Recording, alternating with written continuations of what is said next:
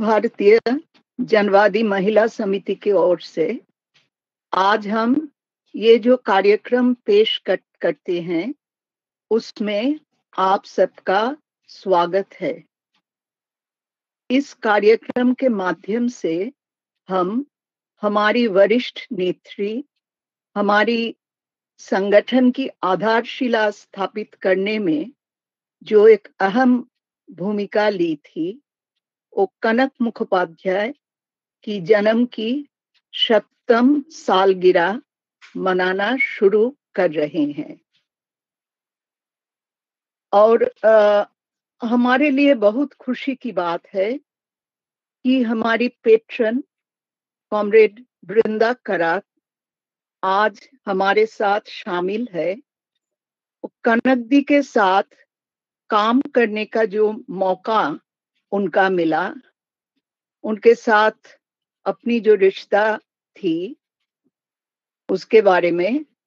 और ये हमारा जो आंदोलन है, हमारा जो संगठन है, इसमें कनक दी की भूमिका क्या थी? और ये आज का दिन में भी कैसे प्रासंगिक है? इसके बारे में अपना निर्णय वृंदा हमारे पास पेश करेंगे। लेकिन उससे पहले कनक मुखोपाध्याय के बारे में मैं आपके पास दो एक बात पेश करने के लिए कुछ समय लूँगी। सन 1921 के 30 दिसंबर संयुक्त बंगाल के जसोर जिला में कनक दास गुप्ता की जन्म हुआ। लेकिन दो साल जब उनकी उम्र थी तो तब ही उनकी माँ की मौत हो गई। उनका परिवार एक शिक्षित और मशहूर परिवार था, लेकिन लड़कियों के लिए स्कूल जाके पढ़ाई लिखाई करने की आदत वो परिवार में नहीं थी। पर ये लड़की की आग्रह देखकर उनका पिता उनको स्कूल भेजा।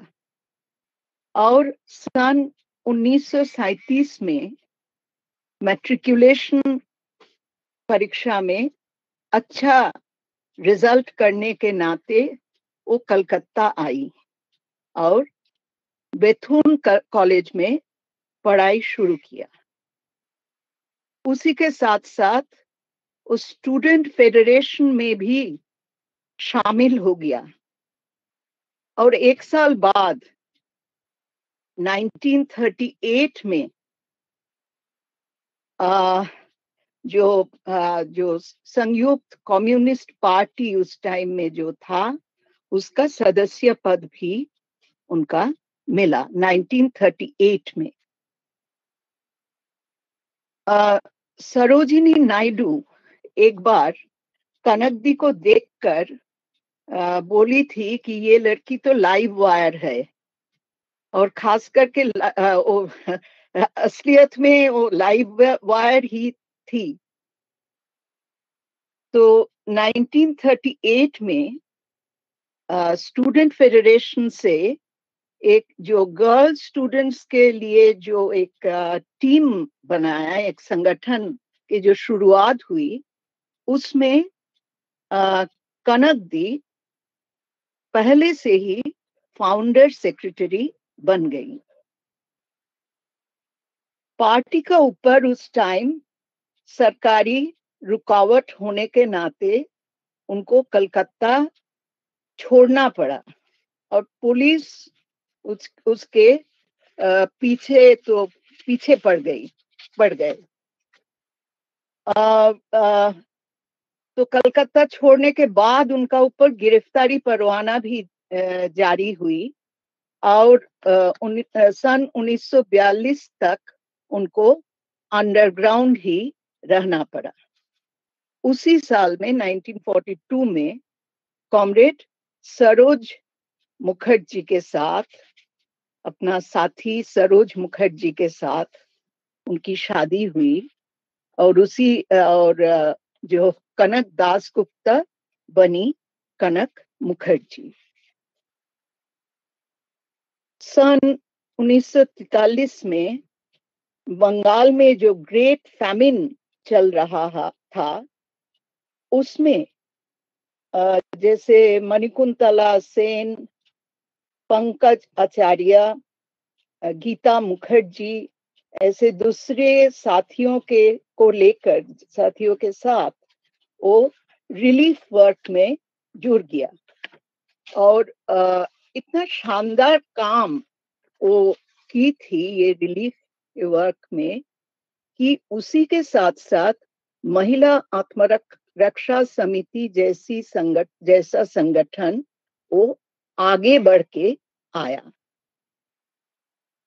सन उन्नीस में फिर जब कम्युनिस्ट पार्टी के ऊपर रुकावट लगा तो कनकदी और सरोजदा दोनों गिरफ़्तार हो गई। उसका लड़का का उम्र सिर्फ़ एक साल था उस टाइम में लेकिन उसको छोड़ के 1952 तक उनको जेल में दोनों को जेल में रहना पड़ा। पहले पश्चिम बंग, बंग महिला समिति और उन्नीस सौ इकहत्तर में पश्चिम बंग गणतांत्रिक महिला समिति की शुरुआत से कनकदी संगठन को दिशा दिलाया। 1981 में जब हमारा संगठन अखिल भारतीय जनवादी महिला समिति स्थापित हुई, उसी टाइम ये स्थापित होने में कनकदी ने भाग लिया और 1998 तक उसका वाइस प्रेसिडेंट थी। सन उन्नीस सौ सन 1990 तक वो राज्यसभा की सदस्य भी थे। आ, और जो आ, सारे जो चर्चा विमर्श विचार विमर्श जो हुआ था उस टाइम उसमें भी भाग लिया। और 2005 में उनका जो एक, ये जो शानदार एक जो जीवन उनका और उसका अंत हो गया, लेकिन मौत होने तक कभी संगठन के काम से वो अंतर नहीं हुई। तो ये जो कनकदी के बारे में जो दो चार बातें बोलना ज़रूरी था क्योंकि आजकल जो हमारी जो जो हमारे संगठन में जो नए नए जो जो सदस्य आ रहे हैं, शायद वो नहीं जानते हैं इसके बारे में। आप सब जानते हैं कि पिछला महीना से अखिल भारतीय जनवादी महिला समिति ने एक नया कार्यक्रम शुरू किया फेसबुक लाइव पर। 19 दिसंबर को कॉमरेड सुशीला गोपालन मेमोरियल लेक्चर इसमें हमारा पहला कदम था। और आज हमारे लिए बहुत खुशी की बात है कि हम इसके, इसमें जो दूसरी कदम, वो भी आज हमने लिया। और अभी ये जो परंपरा की बात मैं कर रही थी, ये परंपरा को याद रख के मैं आग्रह करूँगी कि कॉमरेड वृंदा अभी अपना भाषण पेश करे। Comrade Brinda. Thank you Malini di and thanks to एडवा for arranging these lectures and today is a very very special day for us because we are going to begin the centenary celebrations of the life of one of the first communist women revolutionaries uh, in India, a woman who dedicated her life from the age of 16 to fundamental social change, being inspired by the principles of socialism and the ideology of Marxism Leninism. And in every phase of her life, different aspects of her work, she remained extremely strong through the ups and downs of the movement to the ideological position and her commitment to it, to the ideals and the ideas and the practice of socialist work to build a socialist society in India. And it is a matter of great pride for us in ADWA that she was one of the founders of ADWA in 1981, bringing with her her great experience, which we will discuss today. And what I would really like to do is just point out some of the main areas of her work, which I believe is very relevant for us today. तो कौनकती के बारे में जब हम लोग सोचते हैं ये गर्व की बात है हमारे लिए कि कौनकती जो हमारे देश की इतिहास में प्रथम उन लोगों में थी, महिलाओं में थी, जो एक कम्युनिस्ट क्रांतिकारी के रूप में 16 साल की उम्र से समाजवाद से प्रेरणा लेकर उन्होंने अपनी पूरी ज़िंदगी बताई। और जितने भी ऊपर नीचे और कभी खुशी, कभी गम हमारे ज़िंदगी में जो आप सब जानते हैं, ऐसे भी पल आते हैं, ऐसे भी समय आते हैं जब हताश होने की कुछ परिस्थिति बनती है, लेकिन कौनुक्ति की ज़िंदगी में उनकी ये दृढ़ता समाजवाद के प्रति, उस दर्शन की प्रति जो मार्क्सवाद लेनिनवाद हम कहते हैं, जो क्रांति के लिए एक रास्ता समझने में हमें हथियार देते हैं। तो कौनकदी की पूरी ज़िंदगी अगर आप देखें तो उस लक्ष्य तक पहुँचने के लिए उन्होंने अपनी ज़िंदगी बिताई। और आज हम लोग क्योंकि ये शताब्दी है उनकी जन्म की। और आज से हम लोग शुरू करेंगे शताब्दी को मनाने में। और निश्चित रूप पर एडवा, कैसे वो मनाएगी, वो आप लोग तय करेंगे।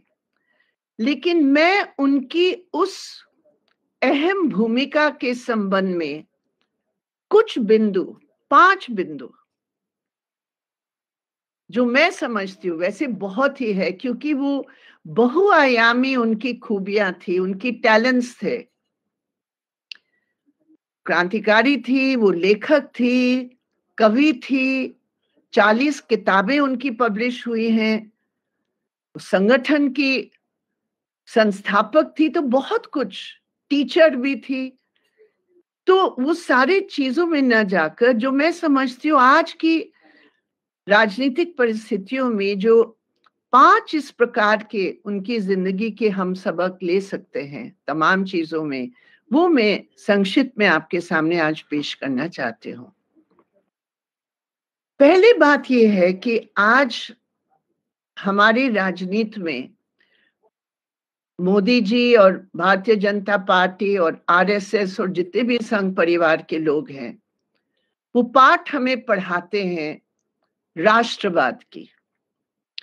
और हर चीज़ में राष्ट्रवाद, जो उनकी नीति की पक्ष है, उनके लिए वो राष्ट्रवाद है, और जो भी उनकी नीतियों का विरोध करते हैं, वो राष्ट्र विरोधी है, वो देशद्रोही आज तमाम लाखों किसान जो देश की खाद्य सुरक्षा के लिए, अपने बचाव का सिर्फ़ नहीं, देश की बचाव के लिए लड़ रहे हैं, वो भी देशद्रोही है इस दृष्टि से। तो कौंडक्ति की ज़िंदगी में, राष्ट्रवाद की, आप सोचिए। 16 साल की उम्र में कॉलेज आए, प्रभावित हुई वहाँ छात्र आंदोलन से। और उनकी दिल में जो देशभक्ति की भावना उठी और उभरी, वो किस आधार पर? कि हमारे देश को ब्रिटिश जुल्म से आज़ाद करवाने के लिए हमें आगे बढ़ना है। और उस समय से देश की आज़ादी और देशभक्ति की समझ जो कौनकती की ज़िंदगी में रही, जो आज प्रासंगिक है, वो ये कि राष्ट्रवाद हमेशा साम्राज्यवाद के खिलाफ जुड़ी हुई एक संघर्ष है। बिगेर साम्राज्यवाद विरोधी भावना।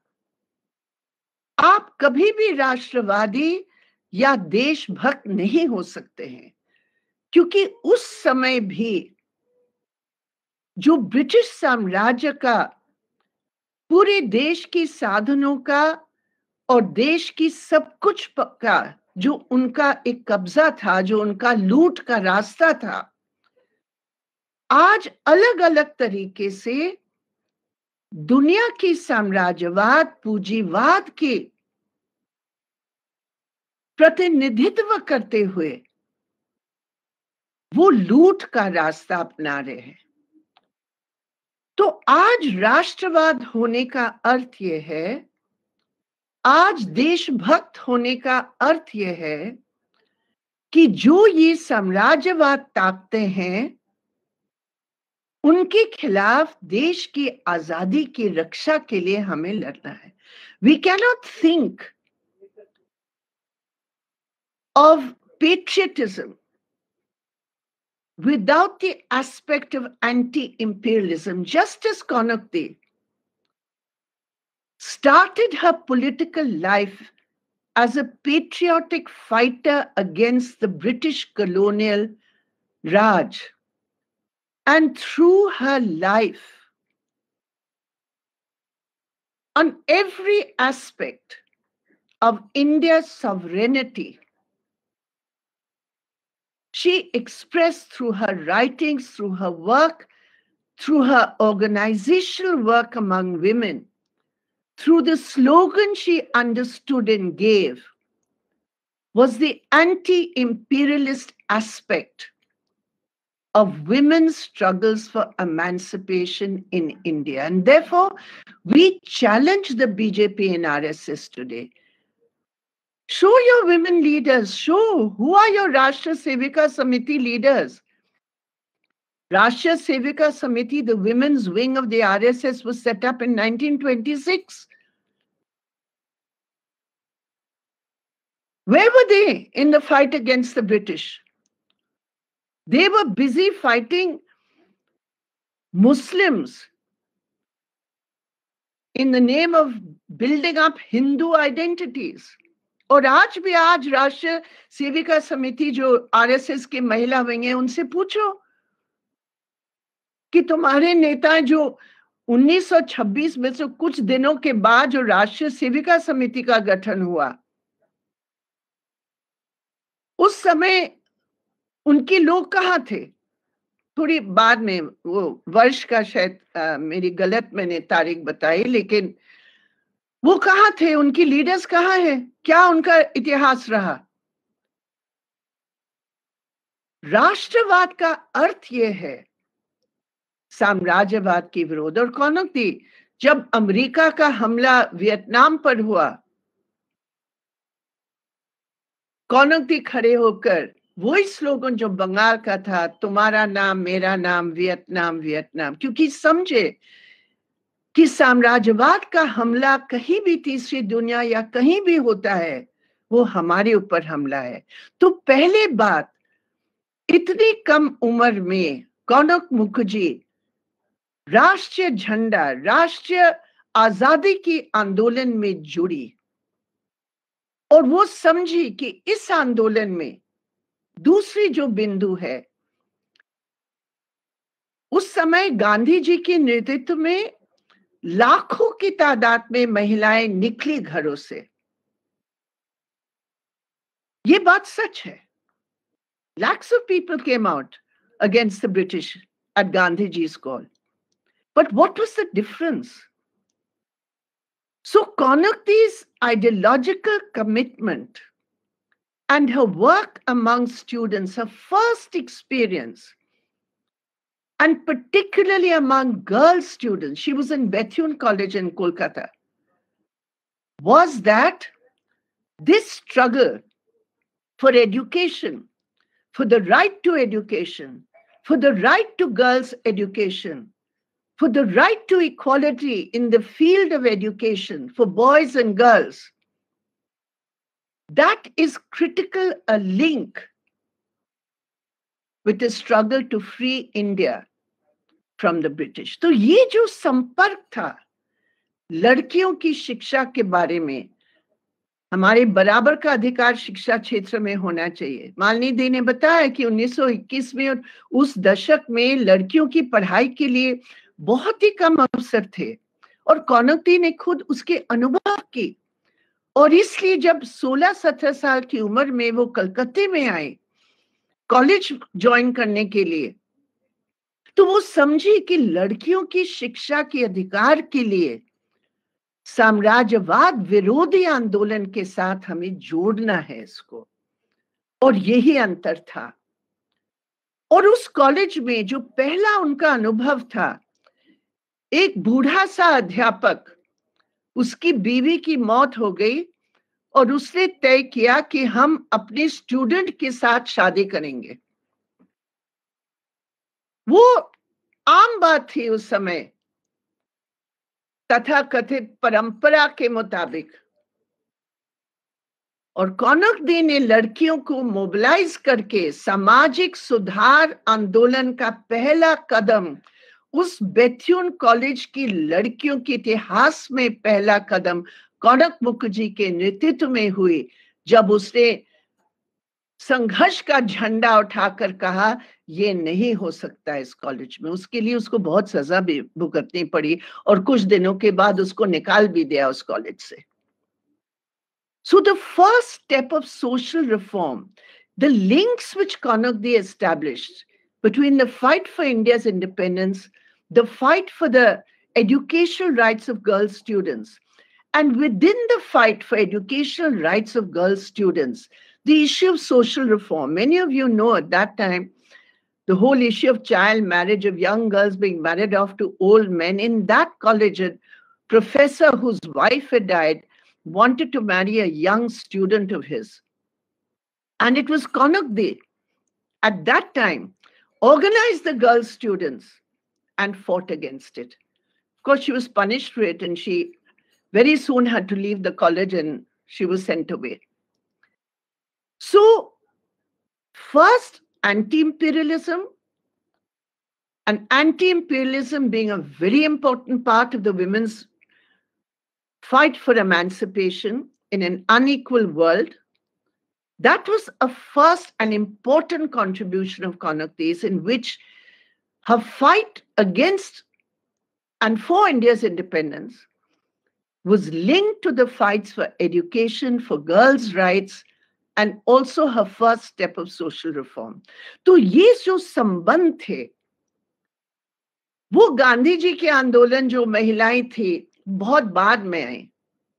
तो कौनक्ति का ये एक बहुत अहम भूमिका रही इन संपर्कों को कायम करने में। दूसरी बात, पहले पूरे हिंदुस्तान में पहले जो गर्ल्स स्टूडेंट्स की कमिटी बने एआईएसएफ के तहत उसकी कन्वीनर बनी कौनकती शायद ये बेथुन कॉलेज के अनुभव भी स्टूडेंट लीडरशिप को समझाया कि भाई लड़कियों की जो बात है, आप शिक्षा सबके लिए लड़ो, लेकिन लड़की स्टूडेंट जो फीमेल स्टूडेंट्स है, जो गर्ल स्टूडेंट्स है, उनकी अलग ही कुछ प्रॉब्लम्स है। हॉस्टल की, टॉयलेट्स की, क्लासरूम्स की आने जाने की, जो आज हम लोग समझते हैं। 1938 और 1939 में ये पहला girls student committee, first girls student committee she was the convener it's a very important thing because right at that time where is they are common demands of all students the specific issues of girl students, that was highlighted. That's very important for us today. आप देखिए आज लड़कियों की क्या हालात है culturally शिक्षा के क्षेत्र में काम के क्षेत्र में सेक्सुअल हेरसमेंट के क्षेत्र में और कितनी ज़रूरी है कि एजुकेशनल इंस्टीट्यूशंस में भी लड़कियों की जो विशेष बातें हैं कौन किसको ड्रेस कोड पहना रहा है ये पूरा लव जिहाद की जो बातें आ जा रही एक लड़की की अपनी चॉइस और अपने पार्टनर अगर वो बालिक है उसको चूज़ करने के लिए, वो सब कुछ उसके साथ जुड़ी हुई है। तो ये बहुत ही प्रासंगिक है। जब हम लोग महिला आंदोलन की बात करते हैं, उस समय की और आज की वही स्थिति है एजुकेशनल इंस्टीट्यूशंस में। और इसलिए गर्ल स्टूडेंट्स के साथ, नारी मुक्ति के साथ, नारी मुक्ति के नारक के साथ, वो संपर्क जो है हमें बनाना बहुत ही ज़रूरी है। दूसरी बात, तीसरी बात, जो कौनक दी की बहुत भूमिका रही है, वो थी उस समय बंगाल में 1940 के दशक में बहुत ज़बरदस्त अकाल हुआ। और ब्रिटिश राज ने पूरा लूट किया। और जो भी पूरा अनाज और सब कुछ लोगों को भूखा मरने के उन्होंने वो पूरा रास्ता दिखाया। लाखों की तादाद में लोग भूख से मरे उस समय बंगाल में। उस बीच में ये कम्युनिस्ट महिलाएँ थी, जो एक संगठन, पहला जो बंगाल की महिला संगठन, जो एक समाजवादी या वामपंथी आप कहिए या सामयिक, सामाजिक सुधार की बात कहिए, उसके साथ जुड़ के पहला संगठन आत्मरक्षा समिति। आत्मनिर्भर। आज बहुत हम स्लोगन सुन रहे हैं मोदी जी की जबान पर। ये आत्मरक्षा। खुद अपना रक्षा करो। और ये आत्मरक्षा समिति महिलाओं की जो बनी, उसमें कौनक दी भी उसकी? कम उम्र में। लेकिन वो उसकी संस्थापकों में रहे। और उस अनुभव से कौनक दी, जो एक मध्यम वर्गीय परिवार में जन्मी, वो कौनक दी गरीबों के बीच काम करते हुए अनुभव किया कि वाकई में अगर हमें महिला आंदोलन और महिला संगठन बनाना है तो वो महिला संगठन गरीब औरतों को केंद्रित करके अगर बने, तभी वो महिला संगठन महिला संगठन माना जाएगा। और वो उस समय थी, जब जितने भी महिला संगठन बने थे और बने थे और काम भी अच्छा कर रहे थे, उन्होंने भी फैमिन में काम किया एआईडब्ल्यूसी और बाकी जो बहुत सारे संगठन थे। लेकिन मुख्य था वो संगठन मध्यम वर्ग के संगठन थे। मैं उसको किसी तरह गलत रूप में नहीं देख रही हूँ, लेकिन उनका अप्रोच उनकी समझ एक अलग थी। और जो आत्मरक्षा समिति की समझ थी, वो देन के रूप में नहीं, वो अधिकार के रूप में था। तो वो वर्ग की जो अंतर थी, वो कौनक दी को बहुत ही प्रभावित की, क्योंकि अभी तक तो समाजवाद और मजदूर वर्ग और किसान, वो एक आइडियोलॉजिकल रूप पर उनका एक अनुभव था, लेकिन वो काम से गरीब औरतों के, वो काम से वो एक समझ बनी, जो ज़िंदगी भर वो अनुभव उनके साथ रहकर उनकी बात के काम को भी प्रभावित किया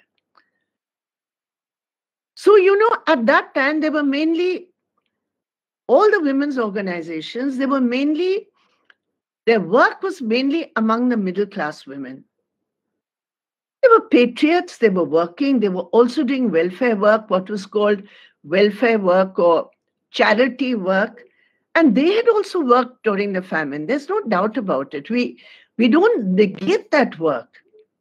But it was the Atma Raksha Samiti led by left wing women who formed the first women's organization in that sense of the poorer sections of women in Bengal.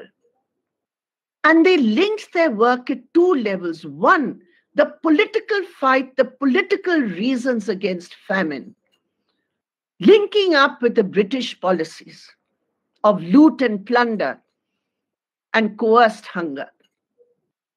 And the second aspect, welfare, relief work. So both these things were combined in the Atma Raksha Samiti's work. And I think that's a very, very important lesson that all of us have learned. What happened during the migrant workers crisis? The ADWA was right there in the forefront working, including the Bengal ADWA. That's the legacy. So you link up the policy and you fight the policy which created the distress for migrants. But you don't just leave it at struggle, you also do relief work.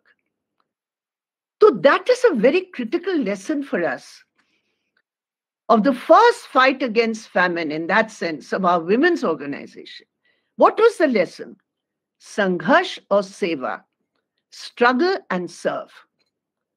तो संघर्ष और सेवा आज भी हमें समझना है बहनों क्योंकि हर चीज़ के लिए एक नीति जिम्मेदार है ये तो हम जानते हैं ना अब मोदी सरकार की जो नीति है वो जिम्मेदार है लेकिन सिर्फ़ जिम्मेदार कहकर हम संघर्ष करें और जो महिलाओं की पीड़ा है उसको कुछ न कुछ हल निकालने के लिए हम काम न करें, वो एक तरफा हो जाएगा। इसलिए संघर्ष और सेवा। नीति के खिलाफ संघर्ष, नीति परिवर्तन के लिए संघर्ष और साथ साथ सेवा। ये कौनक दे के अनुभव से, ये हमारे लिए एक विरासत है। जो हमें समझने की ज़रूरत है। इसके अलावा जो एक बहुत उस समय बड़ी बात हुई। आज जो हम बंगाल को देखे और भारतीय जनता पार्टी और आरएसएस की जो पूरा हमला है आज बंगाल पर, और एक बार फिर जो 35 साल बामफ्रंट सरकार के समय सांप्रदायिक दंगे और सांप्रदायिक हिंसा और सांप्रदायिक भावनाएँ जो राजनीतिक एजेंडा से लेफ़्ट के कारण यूनिटी के कारण, उसको पूरी तौर पर किनारा कर लिया था। वो बीज जो बंगाल के उस आज़ादी के संघर्ष में एक तरफ़ मुस्लिम लीग और दूसरी तरफ़ आरएसएस और हिंदू महासभा और ये बीजेपी के जितने भी पूर्वज हैं, जिन्होंने वो बीज डाले और उस खूनी खेती को और उसकी फ़सल को राजनीति में उसका फ़ायदा उठाने का प्रयास किया, वो नहीं हुआ इतने साल, लेकिन आज है, लेकिन उस समय आत्मा रक्षा समिति और कौनकती की नेतृत्व की और बाकी भी हमारे सारे जो महिलाएँ थी, सामूहिक नेतृत्व की एक दृष्टि कि सांप्रदायिकता अगर बढ़ता है, ये हमारे आंदोलन, नारी मुक्ति आंदोलन के लिए ये सबसे खतरनाक होगा।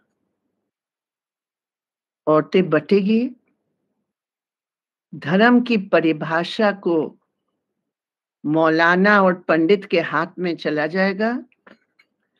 हमारे अधिकार जनवादी मापदंड से नहीं, हमारे अधिकार धार्मिक टेक्स के आधार पर, शास्त्रों के आधार पर,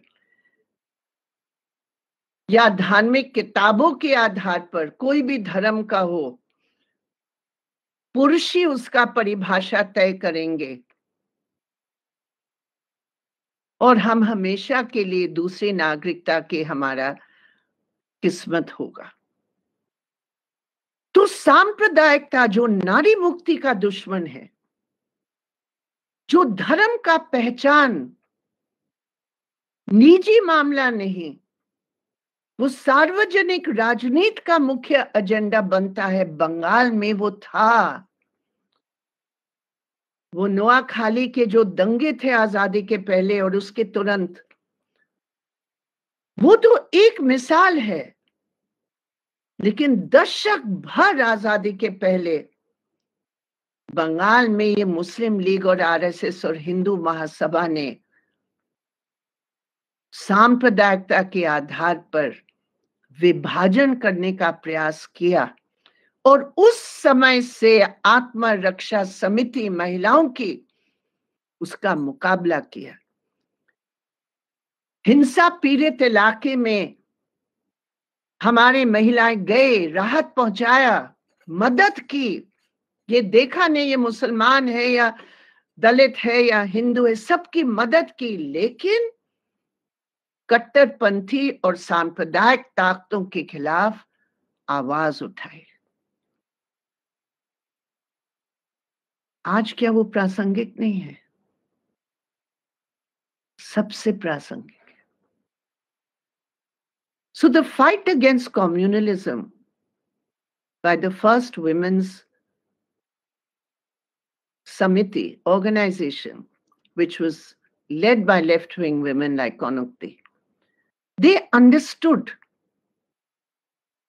that communalism and the promotion of religious identity is being promoted also by the British, the Muslim League on one side, the RSS and Hindu Mahasabha on the other. All the ideological ancestors of those who are in power today in India. Who were they? They were not fighting the British. They were fighting to divide India and to help the British.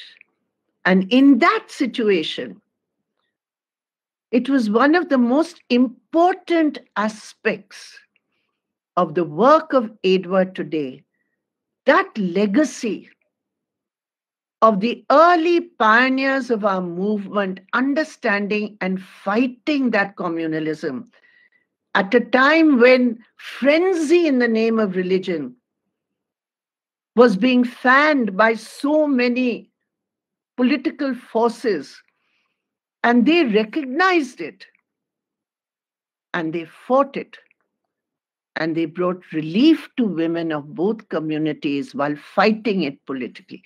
And that is something which is very critical for us to understand today because it's very difficult. We know that. We know how these forces appeal to the religious beliefs of women and manipulate those religious beliefs. And we know the dark side of that is retrograde ideologies ideologies which, in the name of tradition, push women back. These are the forces who fought Hindu reform. When Dr. Babasaheb Ambedkar brought that bill, these are the same people built communal fires in Bengal and elsewhere. The same people. The Shama Prasad Mukherjee is the icons of the BJP RSS today who fought the Hindu reform. They are the ones. And Konakti, she was in jail at that time. From 49 to 51, she was in jail. But when she came out of jail, she joined all those brave women who came out on the streets in support of the Hindu Reform Bill after 1950, 51, 52, and onwards. So, that legacy of fighting communalism, fighting for secularism, and understanding that identities based on religion are the biggest block for women's emancipation and autonomy because they seek to define women in very narrow terms determined by religious texts. So that is a big legacy and a big contribution of women like Konakte, of leaders like Konakte in the decade of the 50s. And of course, we have the other examples of Ahilya Rangnekar, Vimal Randive, and so many others, especially in Maharashtra, where the center of this RSS and they were concerned, and the way they fought it, the way they were attacked. तो हमारे आंदोलन में हमेशा हमारी विरासत है कि हमने समझा कि सांप्रदायिकता एक राजनीतिक हवा की वो बात नहीं है जो हिंसा कराती है और निर्दोषों को मारती है। वो तो है, लेकिन महिलाओं के लिए, नारी आंदोलन के लिए इतना खतरनाक है क्योंकि उनका जो परिभाषा है धर्म का, जैसे मैंने आपको कहा, परंपरा के नाम पर हमें पीछे ढकेलते हैं। तो ये बहुत अनिवार्य है। तो मैंने बताया, देशभक्ति का अर्थ हमने आज डिस्कस किया कि देशभक्ति दूसरी चीज़ों के साथ कैसे जुड़ी है। तीसरे हमने डिस्कस किया वर्गीय दृष्टिकोण के आधार पर कि गरीब औरतों के आवाज़ उठाने के लिए कौनक मुखर्जी का जो रोल था। चौथा हमने बताया कि उस समय कौनुक्ति और उनके साथ जो हमारे नेतृत्वकारी साथी उस समय आत्मरक्षा समिति में थे, सांप्रदायिकता के खिलाफ वो कैसे लड़े? और पांचवा, जो मेरी पाँच बिंदु थे, संस्कृति की जगत में। कौनुक्ति हमने आपको बताया, मालनी दी ने कहा कि वो कवि थी, वो लेखक थी। उनकी हर शब्द में एक चैलेंज थी। क्योंकि वो पीड़ा को किस शब्दों में बता सकती थी? चैलेंज थी, यथास्थिति की चैलेंज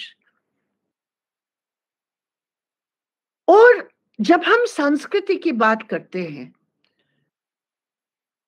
उसका अर्थ यह है कि जो समाज की पूरी बनावट है, जिसमें एक 16 साल की लड़की को बताया जाता है, उस समय भी 1936-37 में भी और 2019-20 में भी। वही लड़की आप समझो, जो तय करती है कि मैं तय करूँगी। 18 साल 19 साल 20 21 साल की लड़की तय करती है कि मैं किससे शादी करूँगी। आज क्या होता है? जाति आधारित क्या होता है? ऑनर किलिंग के बारे में एडवा ने कितनी ज़बरदस्त संघर्ष की। हमें गर्व है वही विरासत है। कौनकती की ज़िंदगी में उसने यथास्थिति को चैलेंज किया। उसने अपनी ज़िंदगी में, आप सोचो, एक लड़की अकेली, सत्रह अठारह साल की लड़की, परिवार कहा और वो कहा? उस लड़की को बेथ्यून कॉलेज से निकाला जाता है जमशेदपुर जाते वहाँ से निकालते हैं बड़ी साल जाती वहाँ से निकालते खुलना जाती है। जहाँ वो जाती ब्रिटिश उसके पीछे अंडरग्राउंड चली जाती है अकेली। 19-20 साल की उम्र में क्या उसकी दिमाग में उस समय थी?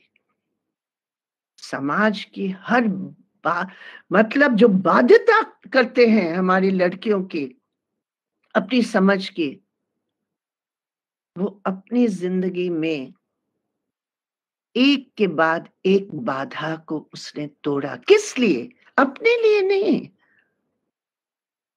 समाज के परिवर्तन के लिए, इस देश के आज़ादी के लिए। हम लोग माँ है। हमारे बच्चे जब होते हम अपने बच्चों को बचाने के लिए, अपने बच्चे की ज़िंदगी के लिए माँ क्या नहीं करती है? कौनकती की शादी के बाद जब उसका बच्चा दो साल की उम्र में उसको अंडरग्राउंड जाना पड़ा। आज मैं बंगाल के बहनों के साथ मिली और उनका बेटा उसका नाम सुमन है, वो भी वहाँ उस सभा में उपस्थित थे। और उन्होंने बताया कि मेरी माँ ने मतलब मैं उनका बेटा हूँ और जितने और बेटे और बेटियाँ थी, मैं बराबर थी, मैं अंडरग्राउंड थी। जब वो जेल में गए जेल में दो तीन बार कौनक दी गए एक बार जेल में चालीस दिन की भूख हड़ताल उन्होंने की, उन्नीस सौ उनचास में। वो भी माँ थी। लेकिन उस लक्ष्य को पूरा करने के लिए, उस बाधा को भी उन्होंने तोड़ा। मैं नहीं कहती हूँ हमें ये मौका मिलेगा कि नहीं, लेकिन संस्कृति का अर्थ क्या है, ये हमें समझने की कोशिश करना चाहिए। क्योंकि उस संस्कृति में, हमारे देश में बहुत सारे परंपराएँ हैं। हमारा परंपरा क्या है? हमारा परंपरा कौनकदी जैसे परंपरा है। हमारा परंपरा उस समय जो हमारे संस्थापक थे, उनकी जैसे परंपरा है। जो बाधा को तोड़ के समाज की परिवर्तन की संघर्ष में आगे बढ़ते हैं। ये हमारा परंपरा तो परंपरा और परंपरा है।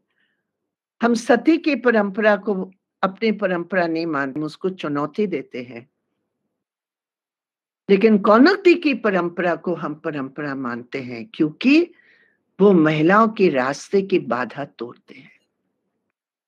मैं हमेशा ये मानती और कहती भी हूँ आप सबको कि आज जहाँ जिस दुनिया में हम लोग जी रहे हैं, दुनिया के पैमाने पर और हमारे अपने देश के पैमाने पर अगर आज हम खड़े हैं, हम इसलिए खड़े हैं क्योंकि जो हमारे पहले जितने पीढ़ी महिलाओं की गई है और उनसे पहले और उनसे पहले और उनसे पहले, उन्होंने उन बाधाओं को तोड़ा है।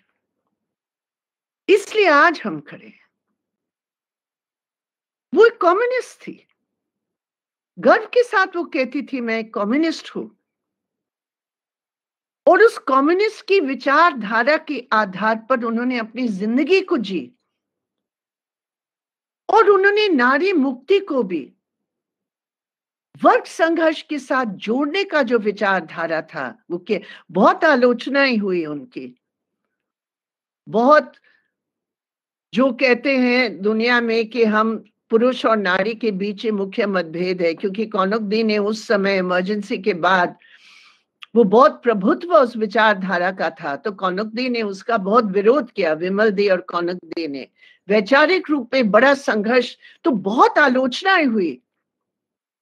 और हो सकता है कि कौनक दी की जो लेख थी, हो सकता है उस समय, क्योंकि इतनी तीखी उस समय आलोचना चल रही थी नारी आंदोलन में तो हो सकता उस समय जिस तरह का उनका लेख था, हो सकता आज हम उस तरह उसी विचारधारा के संघर्ष में हम दूसरे तरीके से उसका करेंगे, क्योंकि वो भी बदले हैं और हम भी बदले हैं।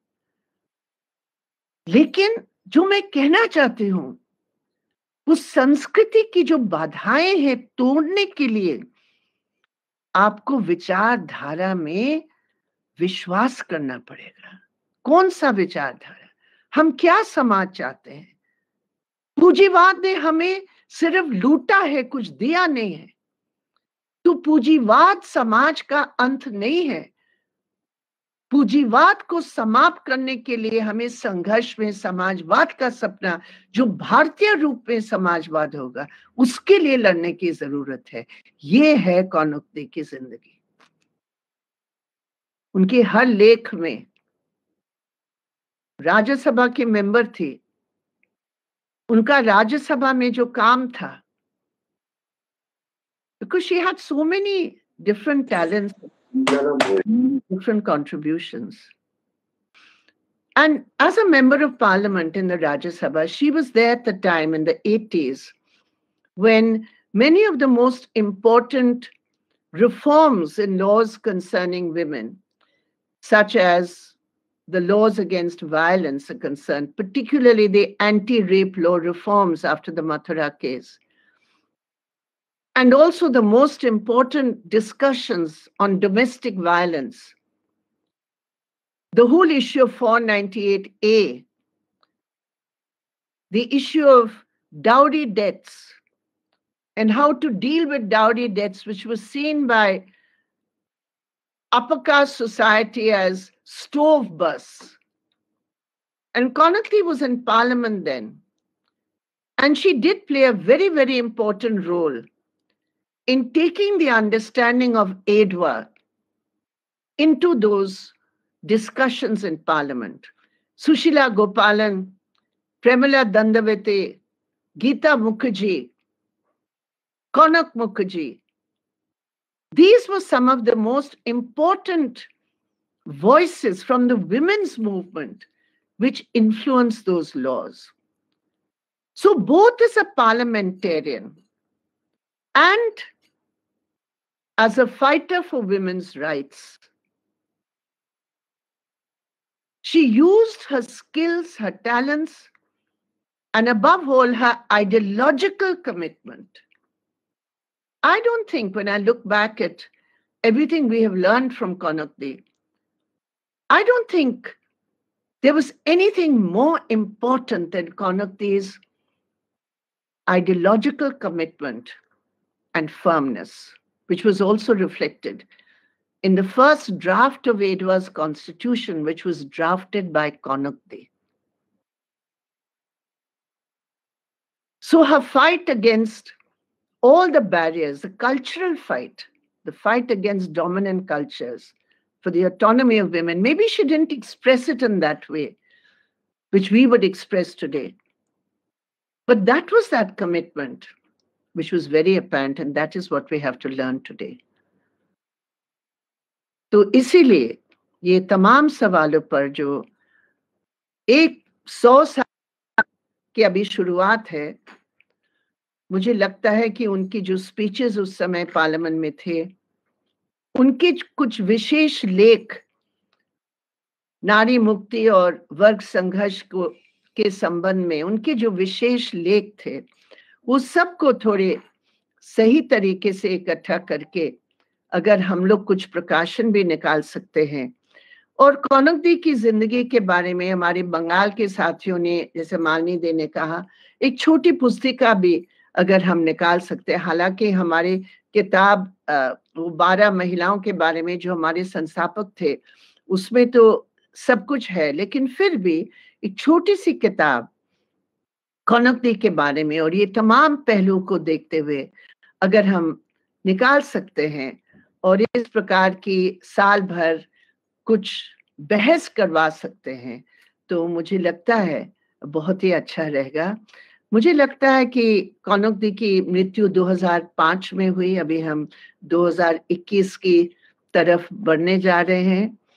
तो ये पंद्रह साल में, सोलह साल में कौनक दी बहुत गर्वित होती आप सबको देखकर, एडवा को देखकर,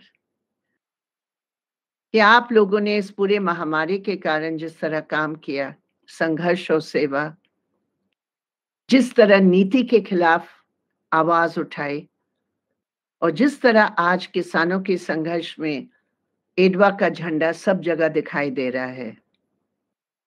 और आरएसएस की जो कोशिश है कि महिलाओं की नागरिकता को एक संकीर्ण रूप में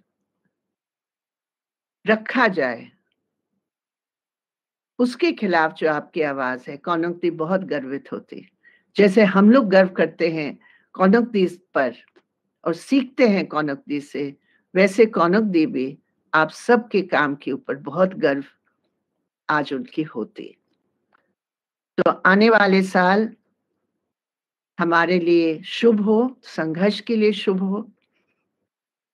हमारा काम और बढ़े, एडवा और मज़बूत हो। और जो भी कौनकदी से हमें सीखना है हम सीख कर आगे बढ़ेंगे आप सबको मेरे तरफ़ से मेरा बहुत बहुत प्यार सलाम और क्रांतिकारी अभिनंदन धन्यवाद comrades.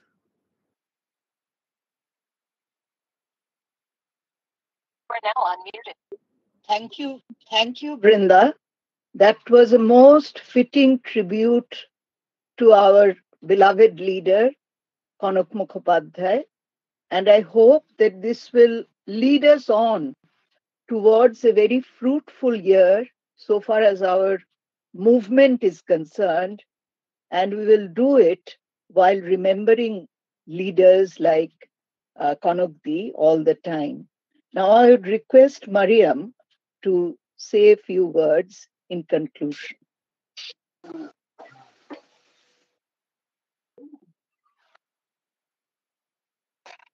Yeah. Thank you, Malinidhi.